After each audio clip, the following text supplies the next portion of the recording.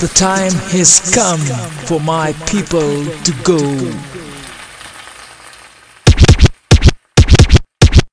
I'm not a queen, I'm a servant of the people.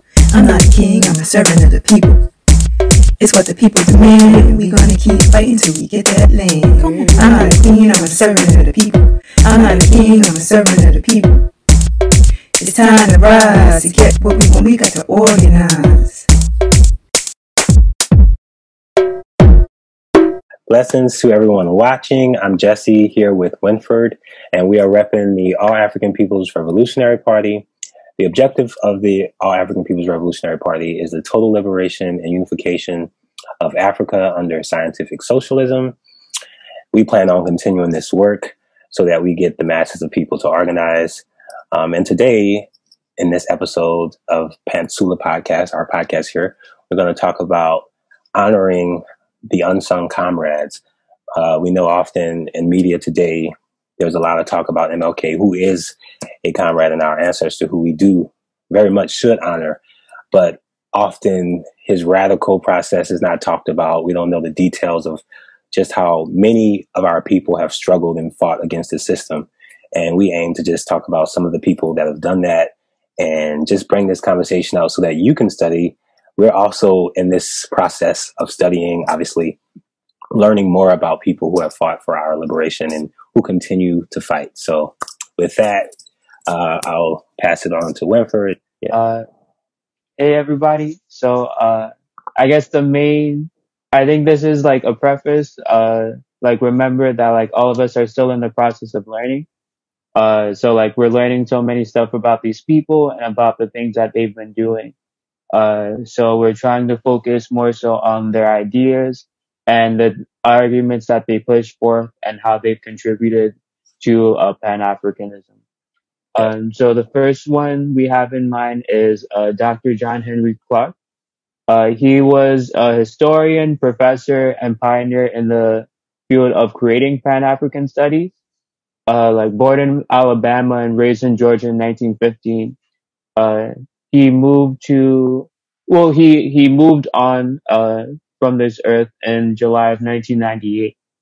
Uh, and so what pushed him to study African history is as a child in Sunday school, he noticed that while there are many uh, Bible stories that happened in Africa, he in the Bible itself he saw no African people in the printed and illustrated Sunday school lessons.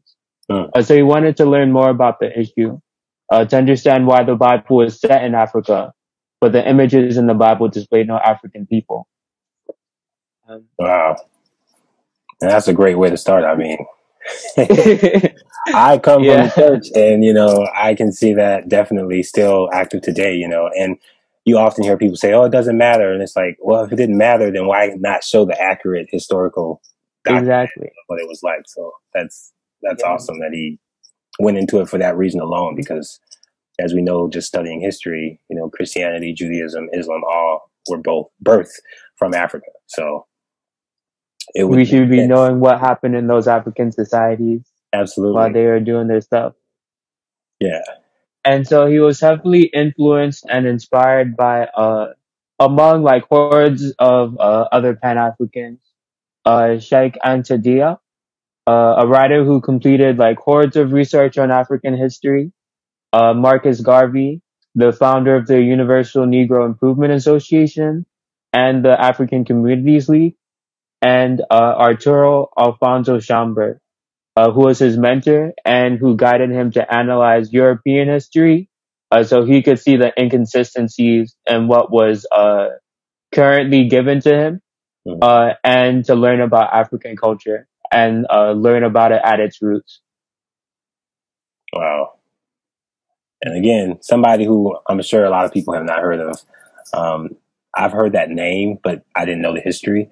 But I know mm-hmm. again, when we hear even familiar names like Martin Luther King, Rosa Parks, yeah. you know, it's never the depth of their analysis. It's always just usually, oh yeah, they were out in the streets, they they wanted Absolutely. white people and black people hands. In the case for Martin Luther King, of course, that's the only thing we hear is that, yeah, he just wanted people to get over racism. They don't talk about him mm-hmm. organizing a people strike, um, making mm-hmm. sure a, a, poor people's march.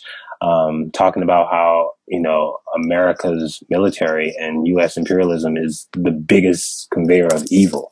Like this is things Martin Luther King. These are the things we don't hear Mhm. about. Um, but Yeah. even hearing you know this brother and just seeing the things he's done, and I feel like one of the reasons we don't hear about that is because they're aware it's going to cause that awakening. Of course, it'll Mhm. encourage people to not settle for the crumbs that we're often given. and we don't e- and even for MLK, we don't uh, typically hear about the people who mentored him, the people who he worked with, and then the people that he mentored in itself. Like there's usually like a it's not just that one individual. Usually, it's like a like a chain link of like people like connecting with each other and building and organizing like with and among each other. Right. And that's the, I mean, in capitalism, again, it's just about that individual pursuit. Mhm. Like, it's not about the collective, whereas we know that the collective is what it's all about. I mean, even in doing Yeah. this organizing work, you're going to be talking to people, you're going to disagree, but you're going to have that collective organism, which is going to allow that growth. You can't do it on your own, really. I mean, I'm learning that more and more as I uh, do this work. Yeah. Capitalism just gives you that myth that, yeah, you can do it on your own because Yeah. this person is done it on his own. And it's like, there's a team, there's a, you know, Yeah. system that, if you try to do things on your own, uh, like the systems are built to to fight against that. Right. So, I mean, these are clear things, but I think the system in itself is very aware Mhm. of people's ability. Like, even how we're in it, like, I'm sure you saw as soon as it was February 1st, all the social media platforms went straight Black, you know, History Month. You know, Black History Month. This is the time. It's like the shortest day, the shortest month of the year, but still a significant. I mean, I obviously love that Mhm. our ancestors have done what they've done, but to see how capitalism tries to reward that, like even putting the idea of having Harriet Tubman on a twenty dollar bill, it's Yeah. just like We're not helping out any of her descendants. can't answer like the real needs of the people, but you're Yeah. going to give us the symbolism of oh, here she is on a twenty dollar bill, which is that just says everything about what the system designs to do. Like, Um, and so, like, as for uh, Dr. Clarke, like uh, the people that he worked with, well, so like he had like those three mentors and like uh, sources of inspiration. Uh, and uh, uh, alongside that, like he worked like he was like very close friends with Malcolm X, and they like exchanged dialogue like pretty frequently about how to like push for like African uh, liberation and freedom, uh, and like self dependency. And he also mentored uh, Kwame Nkrumah before he like helped fight for independence, and then later on uh, worked with Nkrumah in his new government. wow, So- and that's something. I mean, those two people alone, Malcolm X, and yeah, like wow that's that that just tells you his pedigree of yeah, the work he was putting in. I mean and somebody we can learn from. Again it's not these are people who are not talked about generally you're not going to hear their names um but just you kind of have to be in certain circles to know them. right exactly that's intentional i mean it's intentional that we're given that same messaging because when you do the work and you study and you realize oh no there's a bunch of people that have been doing this thing together. together, right, in a process. Not just, you know, alone climbing some ladder. It's like no, they're they're with their brothers and sisters. And it's a continual fight, obviously. I mean, that's the other side to it. It's like Assata Shakur, who's another um, ancestor who who's still here, um, actually, in Cuba, living, still doing the work. Mhm. Um, someone, So, right, who's still, I believe, on the most wanted list from America. So it tells Yeah. you what they think of people who are actually going against the system. Like they're not going to stop targeting. yeah. I wouldn't. I think like uh, I think for me it was especially surprising finding out how close like Nkrumah and Malcolm X were linked to each other. Like literally talking to the t- talking to and working with the same exact person who was like giving them advice and guidance, and like how they're able to apply that in like different ways for like uh, different groups of people. Yeah, that's still be effective. And Malcolm X, especially as he when he tr- he had this transformation, he seemed Mhm. just so concerned about having Africans in America realize that this experience is not dislocated. Like exactly. everyone just thinks that it's just us in America. It's like no, the enemy. Is, it don't matter where you are, the enemy is there. Like and They're Malcolm, doing the same thing to, to the people in the, across the sea too. right? And he and he reminded people of that because and it's just amazing because a lot of people still have that sentiment. Like we think, oh, it's just us. If a Mhm. George Floyd, there's a George Floyd in any you know occupied when you have a settler colony like America Mhm. or even in Canada, you know, the same situations happen.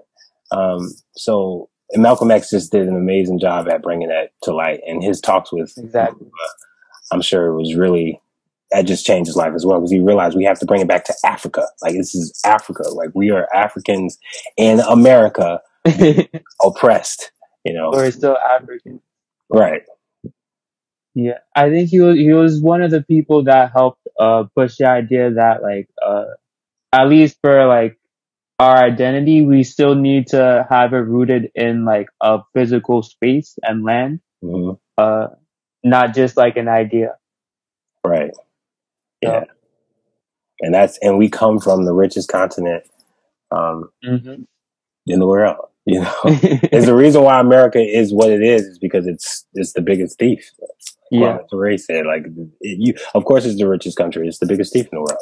So, like, when you think of all of what Africa produces and just how all of that is just being sucked here Ripped and away. Ripped away, um, and people think that we're the best, not having that historical, like, literally being brainwashed through television and movies and propaganda and just everything 24 7, just reminding you of this memory that did, didn't happen. Like, Amer- what Mhm. is America besides just this genocidal, like the things that have happened on this soil, this land that belongs to the Native American, of the indigenous people? They not even being in the picture. Like, when you even think of how we speak of America, it's always Mhm. dislocated from the indigenous people. It's like, oh, it's the red, white, and blue. yeah, definitely. And to some extent, like there's a lot of literature and a lot of like knowledge that we in America don't even have access to. So like I I know that like at least with how publishing companies can work in the US, like uh, there's a lot of like African uh th- well there's a lot of African pub- publishing companies that are like based in Africa. But like when you're looking at like US libraries, like it's either gonna be like really rare and cost like a thousand dollars to get the book somehow. And see, that seems like, and I believe that's an intentional thing because mm-hmm. I remember reading an article suggesting, I mean, it really broke down how even museums, like mm-hmm. everything in the system is literally corresponding to the capitalist system. And Yeah. they're not going to show you artifacts or memorabilia that shows people revolting. Or if, if they do, it's going to be revised or reframed. Curated. Yeah, curated. exactly. You're not going to have your self determination there on the platform. It's like it's yeah. going to always be mixed in with another narrator. Um, Mhm. And that just goes to show you, like, we can't depend on the system to tell our story because they're going to tell the story wrong. We have to independently or join an organization. That's the first thing. Join an organization so that you can have that process. You can develop that analysis so that you don't depend on, you know, state propaganda to inform you because they're not going to inform you of, you know, what direction Yeah. is needed to be taken. Exactly. So- Yeah. And so like, th- yeah, this is like really a lot of what, uh, like Dr. Clarke was preaching. Like, uh, at least a good way to introduce yourself to him. Uh, there's this like documentary called, well, there's this interview of him called A Great and Mighty Walk. Uh, it's like available for free on YouTube. Nice. So like if you have the time to check it out, is like definitely a good listen. We'll definitely add it in the description so that you guys can Yeah. watch it. Yeah, that's, I'm definitely going to watch it because I haven't seen it. So, Yeah. in preparation Mhm. for this podcast, I was thinking of uh, other comrades, and I thought of Winnie Mandela, who obviously everyone knows is um, Nelson Mandela's wife, but she was someone who just went further, in my opinion, in a sense. Like she is a reason why they're not talking about her because you know she had a, Yeah. a fire to her that is not often, or anytime we speak of this type of flame, is usually, oh, they, they're too radical. But she was like, no, I'm not going to compromise. Like, I'm going to, I want to read one of the quotes she said back when apartheid Yeah. was going on, where she said, um, if anything goes wrong, I will be the first to go back to the bush and take arms and fight. Because there was that negotiation. She's like, okay, I'm going to be paying attention to this negotiation. I'm not going to just accept it and, you know, praise. Because if there's Yeah. anything that's going wrong with this, I'm going out. Like, I, I'm out there. You know, it's not Yeah. like we can just hold hands with our oppressor. And it's just that kind of insight and tenacity that she had for the rest of her life, even though she was being spied and ostracized and, you know, all of the FBI conspiring against her with her friends and stuff. She had, and under the constant fear of death. yes, always under the constant fear of death and just being watched all the time and having your Mhm. friends betray you because they're being, I mean, this is what the FBI does, uh, you know, conspire all of these conspiracies. And, but the fact that she maintained that tenacity and she didn't compromise, she was just unprincipled. Um, that's a comrade we should always honor and acknowledge Mhm. because we don't see that often. We see a lot of, you know, we give into the, okay, we'll see what the system offers, but It's, it's one of those things that's like just like absolutely terrifying. But when you see somebody doing it, it's like, yeah, this sister's on the right track. Right, exactly, and it, it's a motivation because it's it's something that we're gonna obviously face within our organi- organizing work. We see just the the terror. The media makes it seem as if if you go along this path, there's a destiny for you. Like even if you think of how Malcolm X was assassinated, and just all of the freedom fighters are usually taken out in a public way. It's like Mhm. they have they're trying to say something. Like they're saying, "Yo, if you do this, if you stand up against us, this is what's going to happen." But Yeah. that can't like this revolution can't be stopped. Like you might kill the person, but I forget who actually had that quote. But um, they seen a revolution. You know what I'm speaking of, right? Like where it's like yeah. revolution. Yeah, I don't. I I'm thinking of a name, but I don't want to get roasted if it's the wrong name. Right. so, so let's just let's just keep it at that.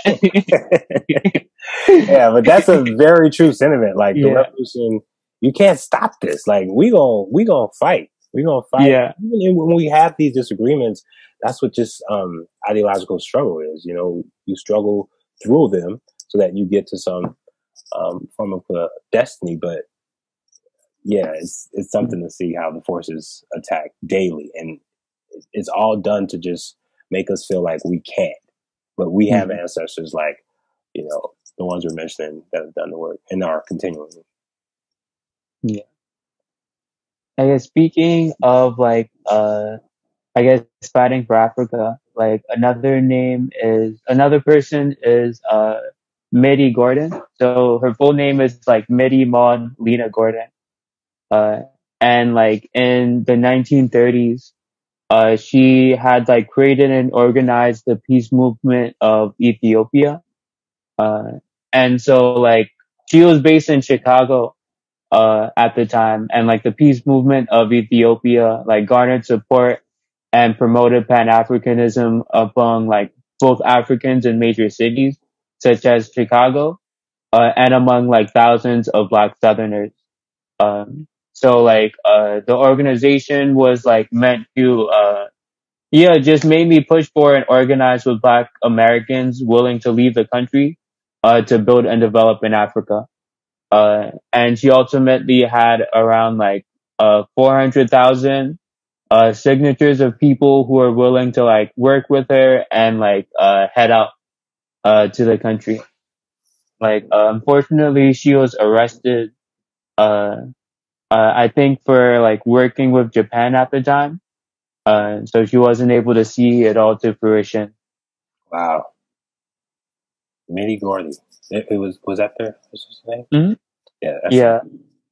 Mittie God, Mittie Maude Lena Gordon is the full name. Yeah, these are people who again never heard Mhm. heard of this sister's name, but this is the work she's been doing, and just the forces out there to stop the work can't stop Mm. the work, even though they try. Like these examples run far and wide, um, but it just goes to show you the extent in which we can't depend on the media for our education. Like we're not going to get it there. Yeah. And like an important thing to note is that like at least for all the people for uh both like Dr. Clarke and Mittie Gordon and uh like other ancestors like they're and like Kwame uh, Nkrumah they're doing a lot of organizing like uh in the midst of the Great Depression so a time when like Right. hundreds if not like thousands of people if not millions of people were like uh, at home like hungry like starving didn't know what the future lied ahead of them and were just like trying to figure out a way to survive and like in the midst of all that like just trying to like organize and like work with other people uh to support each other is like admirable Absolutely. The odds were always against them and they, they persisted continually Yeah. and they knew it was because of the masses of the people. Like how we say how Jamila sings in the uh, theme song, we're not a Mhm. king or a queen, we're a servant of the people. Like, you know, yeah we're doing it for the people. And that's what these ancestors did. They did it for the people. It wasn't to have their own pockets lined, um, which is what you often see in the media and the petit bourgeois. I mean, they'll, they'll say that they're fighting for some justice, but at the end of the day, they're not going to challenge the system. And, yeah you know, if you're challenging the system, you're a threat yeah instantly. I mean, that's just what Yeah. capitalism is. You challenge the system, they're going to come with all of these different things, but all the forces yeah, all the forces gonna come and conspire, and it's and it's amazing just to see how how far and wide they've done that. Like counter counter uh counter pro. Yeah counterintelligence COINTELPRO COINTELPRO. Yeah, that's yeah. I mean, just reading how they've conspired these conspiracies against people and parties and organizations Mhm. so that they can break and cause confusion. Um, that just shows you that we got to be aware, fine tuning our analysis daily, uh, just so that we're not entrapped by a lot of those snares. But um, Mm. it's far and wide. Um, but I wanted to ask you, um, I have a question here just about how does the mass media typically honor our ancestors around this time? And what are some of the main focal takeaways they give as opposed to the virtues that they leave out? Um, so I'm gonna start off with, I guess, like one of the positives that the mass media portrays. I think like sometimes they portray uh inventions of like a black people uh throughout the country. Uh, I think like at least at least the way that I understood it when I was growing up and like listening to it was that like there are all these like black creators and people who have created things like throughout American history uh, and contributed to the fabric of American history. Uh, so like uh, I think like a big person was like uh, George Washington Carver. Uh, we got to hear like a little bit about at least the name of Marcus Garvey, but not anything ever too deep. Uh, like the people who create, the person who created the, uh, who, who helped create the steam engine, the person who helped create the light bulb, and like helped with like so many other like different inventions, uh, that we rely on today. The traffic light, uh, I'm pretty sure like the firefighter, um, I think like the suit or something, Oh, uh, wow. and like a bunch of other, yeah, like we, we've been creative. Right, I kind of just have the opinion that a lot of most of what we see have been created by African people. It's, yeah, we've been creative. yeah, absolutely. It's just a Yeah. minor attribution to that. We never get credit for it, but the record is true. but I think like uh where it can go to a fault uh is when the only thing that we that we uh display and hear about is like uh the like inventions uh as opposed to uh like organizing and building and like working towards uh like the improvement of black people as a whole. Right. Yeah. Yeah. Right. And that's the side that, you know, the organizing aspect, the media not going to tell you to organize. I mean, they going to they run away from that notion, but obviously that's what we got to do. That's what we have to involve ourselves in because that's the only way we can defeat the system. We can't do it through individual efforts, though that's, Exactly. you know, cute to look at to say, oh yeah, I could do. I'm gonna start this. it's like, and if Yeah. you, you know, like, and like we say here, like, and if you don't want to join this organization, then start another organization of your own, Start your own. right? Yeah. but it's like that's just be interest. Just be working towards the needs of Africans. Yeah, because we got we these things have happened, and you know, history doesn't just stop at a point where it's just like, okay, that happened. It's like we're still seeing, you know, this is an ongoing Mhm. struggle, um, and I think a lot of us get comfortable, especially if you're again taking your media from the television or Yeah. social media letting you know, oh, you don't have to do nothing, just travel, just sit back, like that's not your problem. it's like Yeah. just that liberalism really is what it is. Uh, it's like don't take it, just take it easy, just sit. They don't have to do nothing, you know. But you need to have that process because it keeps you aware. Like, wait, this is still going. Like this is this hasn't stopped. Like our ancestors, and this is why it's just I'm grateful for all of our ancestors, the ones we're speaking of now, and the ones that are Mhm. just have not been spoken of, but they've done that work. They have, you know, paid the price um, and we are working because they have done the work. And, Yeah. and I think We're the that that's why we- recipients of them, and now we need to uh, give to the, the future generations too. Absolutely, it's like we're doing it because they've done it, and the best way we can honor them is to continue that Mhm. work, and advance it. right? And uh, that's because it's one thing to just be like, "Oh yeah, I like that. That quote, that's a good quote," or like because that's what I think. what happens typically around this time is we we gloat in our accomplishments because we know we as Africans have done so much for the world and we've contributed all these wonderful things. But it gives us a Mhm. sense of like, okay, here's a trophy on the wall. We can just admire it and not Things are fine now. right. Things are fine. Yeah, we just kind of just settle with that. Like, oh, and the, and the industry wants us to just settle, not to you know just basically incorporate in the capitalist system. They don't want us to continue the legacy of Malcolm X or to continue the Mhm. legacy of all these freedom fighters. They rather us feel we can incorporate and be like you know the projection and you know we see representation it's like yeah that's yeah we seeing more of us like oh my, i never thought i'd see the day yeah. Yeah. we'll see a first such you know xyz and it's like nah you gotta have um further analysis. Yeah.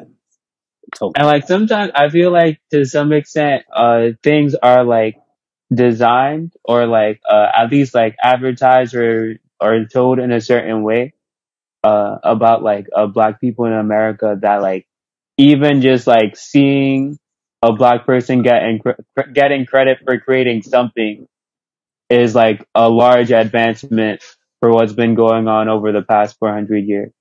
right Uh, whereas like, like, uh, at least like knowing about George Washington Carver is like an accomplishment that like a bunch of people had to like work hard to even like have that be like, uh, continued. So you don't even get to the point of like the organizers or the people who are like uh, creating long term and trying to create long term solutions to the problems we face. right yeah they're just they're missing in action they, they don't even talk about them Yeah.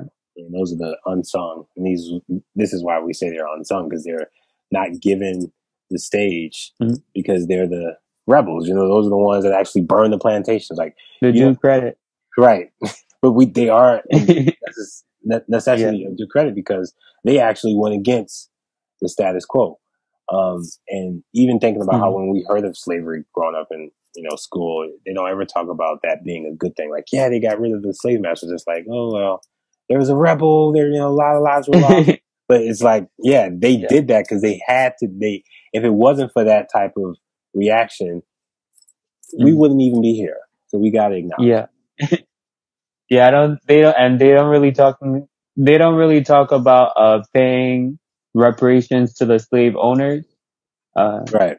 even though that was something that did happen. Yeah. So, of course. yeah, a bunch of little things that they just forget to tell us. Yeah, and that and that's that goes back to a point where I wanted to mention just how Africa is usually not. I mean, we call it Black History Month, and I understand why a lot of people say Black, you know, but when you go back to Africa, the land of where all you know Africans were from Africa, but that's never talked about. You know, it's like oh, Yeah. we make it black and we make it black American. What do you think of just the framing of how even I'm sure you know people who I I could tell Mhm. you I don't want to put a number of all the people I know that's like, I ain't African, but it's a lot of them. Like I ain't African, I'm black. yeah. What do you think? How does that? How do we manage to connect Africa to our identity? Because that's what this is all Mhm. about. Uh, so like it seems like uh especially in the like the 90s well i think especially in the late 2000s and early like 2010s Mhm. uh there seemed to be a push against like claiming like african like heritage and claiming uh connection to the land itself uh so like whether it's through like tv shows or like uh the difficulty of like uh immigrating to like a different country Right. or like any other of the like systematic things that are barriers in terms of like even getting to see what Africa looks like or like setting foot on an African like city uh it creates a it creates a space where you don't really know like what's even going on. Uh and then what fills that like lack of knowledge is like a bunch of ideas that like Africans are like uh uncivilized uh that they have no history uh that they've always just been uh the uh, recipient of knowledge and civilization and support uh and not much history is shown about like uh, what we have contributed uh, from a civilization standpoint, from a humanitarian standpoint, um, and like a lot of the ideas that exist. Uh, so I think one of the big ways to, uh, I guess, to dispel the idea that like people aren't African uh, is I think what they did in the past. So like uh, increase knowledge about like what Africa is like uh, today, and knowledge about what Africa has done and contributed to society, uh, and make it something that like people are proud of, and show how uh, and like show and like highlight so many of the links that exist between uh like African American cultures today, uh, and uh, African cultures that exist in uh, in the country uh, in the continent of Africa. Yeah, absolutely. And you mentioned something that reminds me of um, a book we're reading in our um, work study about Sekou Toure talking about dignity. Like, I think Yeah. more Africans need to have that dignity, and he was just a great expounder of that. Like, you are worthy of this life, because so much Mhm. propaganda has been crafted to just have us not having dignity. Like, you're deserving of this beating. You're deserving of not having proper education or housing or whatever else Mhm. they bar from us. But when you realize that you are deserving of these things, that you don't, Mhm. you can't just be talked to any kind of way. That you yeah. have, you have that dignity, you're more, you, you, you speak up for yourself and you're not going to allow the system to just trample the way it does without you taking a principled stand against it. So like having, yeah, having that awareness that just knowing that you come from a place um, and you from a people that's conquered and accomplished. Um, yeah. and it's not through. And I should also mention this: the problem also that happens that I obviously I'm sure you probably see this a lot of like Mhm. people just say blessings king or queen. Yeah. we talked about that earlier. It's like Yeah. king and queen. yeah. Why? Let's be servants of one another. Let's be builders. Or just Mhm. Yeah. like we can be proud of just being normal people right, and from Africa. right. you don't necessarily have to be the king and queen of whatever place. especially when you know what happens with monarchies. Like you want to, so you you want to be the authority so that you can have Yeah. all these, you know, have this free labor. Um, so yeah, we got to just think of that. But as you said, our history through our ancestors, through the work, these are the things that the system can't kill. Although they will attempt to do so through the reframing, revision of Consistently. movies. Yeah, and that's why movies. And I know this has been talked about um, on the last podcast briefly with Jamila and Evan, but just seeing all of the movies um, that, and just seeing how that affects. Looking at social media, you know, I'm going through Twitter and I'm seeing how people really respond to what Mhm. a company like uh, the movie industry is putting out, and it's like you know whatever they're putting out is crafted intentionally to be formulated to hit those buttons because they Yeah. know what makes us cry, they know what makes us happy, they know what makes us Mhm. shout, and therefore they're able to turn it around and make it you like, oh, this is actually Change the story a little bit. Right. And then before you know it, you're giving credit to the colonizer and you're you're honoring or respecting the name of something that actually is soiled and Yeah. and untrue. So I mean we gotta have that that analysis knowing that whatever we get from the media, like more than like I'm not saying you can't enjoy it for the purpose of whatever entertainment value you have for it, but Mhm. if you're gonna take it as truth, especially if you're not in, in an organization and you just like, oh yeah, I saw this on a movie or I read this book, so I know this must be, you know, Mhm. the truth. You can, I guess, falter in that sense of not knowing who you are, and the system doesn't want us to know that we're African Yeah. because they got all of Not at all. they don't want us to know that. Mm. So yeah, Oh, we can talk about uh, another uh, freedom fighter in Africa. So I think you have like uh, Patrice Lumumba of Congo. yes, yes, Patrice Lumumba. Um, I was just briefly studying on what he accomplished, but to see how he was also assassinated, um, just like this public assassination. Um, but he was, yeah, he did amazing work. And I'm trying to find the quote where he's like, African unity and solidarity are no longer dreams; they must be expressed in decisions. Um, and I just like that because it's like you know, it's one thing to have this dream. It's like, what are the policies, you know, the legislative action that is taking place to make this happen? Um, and I know that just within this work, that name is always mentioned, and I can't wait to study more Mhm. about him because I know that this was a freedom fighter to the core. Like everyone always mentions Patrice Yeah. Lumumba, Patrice Lumumba. So I mean, it's like, yeah. yeah, unfortunately, he was dropped by, uh, I think, like the American and the Belgian government in conjunction with like one of his former allies. And then, Mm. like, that, I guess, like, after his death was like a huge, like, civil war and then a bunch of conflict that, uh, a bunch of like American companies profited off of. So, Wow. yeah. see, Yeah, it's definitely a story. Yeah, see the way they I mean, oh we really there's a quote that um James Baldwin said, I might butcher it, but it to some extent he's saying like you think history and life is bad, but then you read. Yeah. it's like, it's like, yeah, it's like, man, all of the ways all of the things that have been done. You know, we have Mhm. such a litany of um information.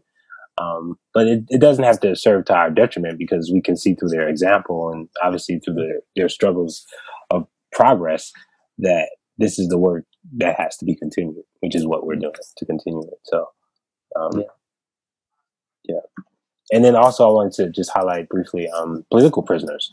Uh, they're actively prisoners serving time in all parts of this colonized nation um, for continuing the work.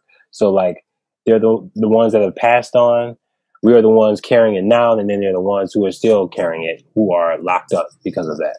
So, I mean, this work it's a it's it's continuing. Um, but to see that there's so many people still locked up for fighting, just for using their life as making their life an effort to change and to abolish the system, um, it comes with all of those forces.